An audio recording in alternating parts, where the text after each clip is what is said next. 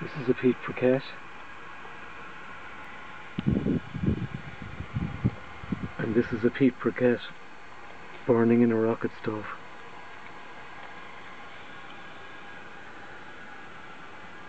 And this is what you can do with it.